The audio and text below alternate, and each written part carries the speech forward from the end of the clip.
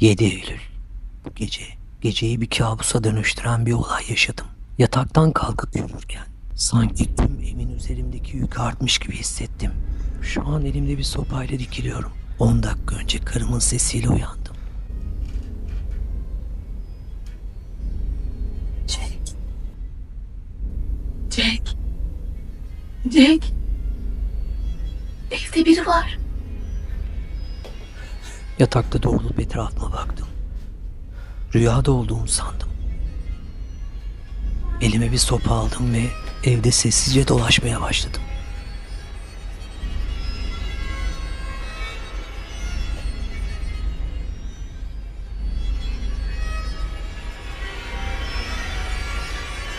Her köşeyi kontrol ediyordum. Zemin gıcırdıyordu.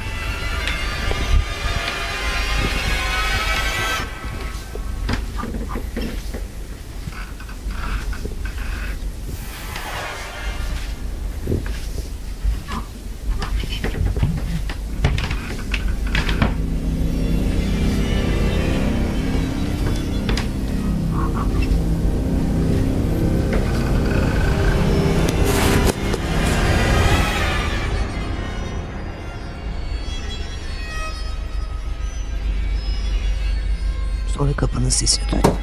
Evimde gerçekten de biri vardı. Adam ani bir hareketle çıkış kapısına yöneldi. Arkasından koştum ama çoktan evden çıkıp karanlıkta gözden kaybolmuştu.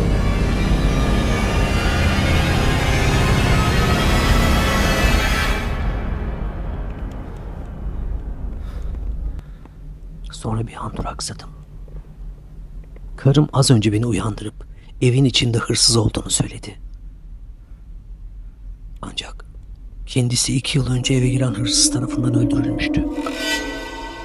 Bu yaşadığım gerçek miydi? Yoksa bir illüzyon mu?